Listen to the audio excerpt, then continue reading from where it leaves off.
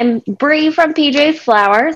Uh, like Brandy said, we're a small studio here in Phoenix, but are open to traveling um, a lot of places. Um, so just thought we'd show you kind of a quick little slideshow of some things we do and some questions that were asked um, at the studio quite regularly. So, uh, number one question we are asked right now: Do you work with succulents?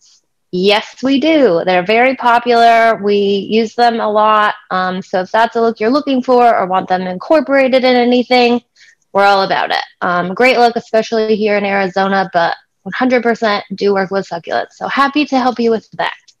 Uh, you can hit the next one. Um, we also really love doing some unique looks. So, not necessarily your traditional bridal bouquets. We really love making things custom to couples and are open to trying new things and doing new ideas. So, this is kind of an example of that. Um, just a totally different styled bouquet, also including succulents.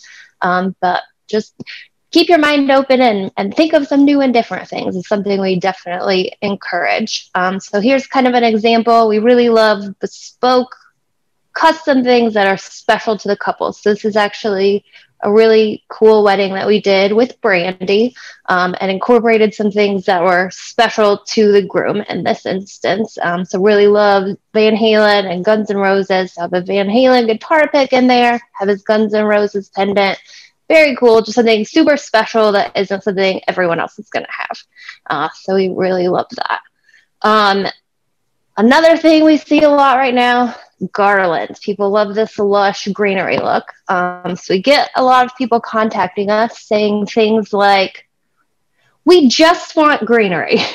and I don't love hearing that because people think greenery, not a bloom, it's not going to be expensive and they're going to save a lot of money.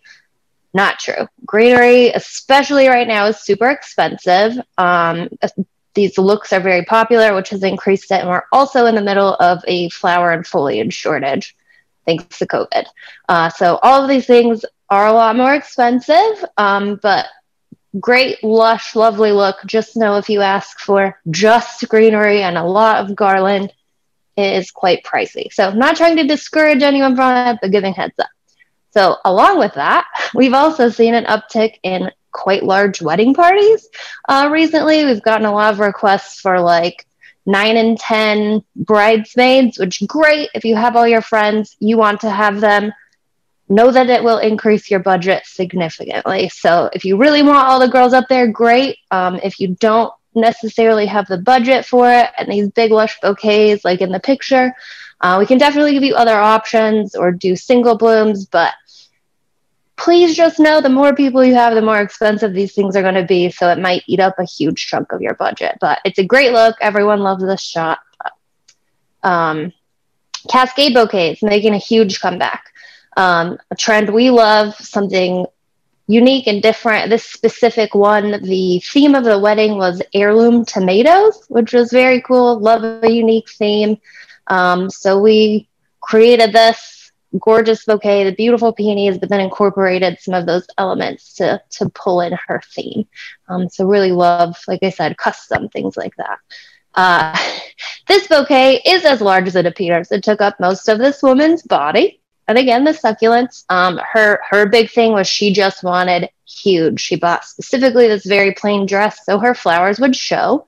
Um, if you are interested in something like this, lift your weights. That thing weighed about 16 pounds. So she had to carry it most of the day, um, but she loved it, was prepared for it. Um, and it's just a really cool, fun look that, that we loved. And it's fun to make a giant bouquet. So just know anything large is going to be more expensive. Um, and this is just something a little bit different, textural, really bright and colorful. This is a great look, especially in Arizona. Uh, these like hot desert colors and a ton of texture.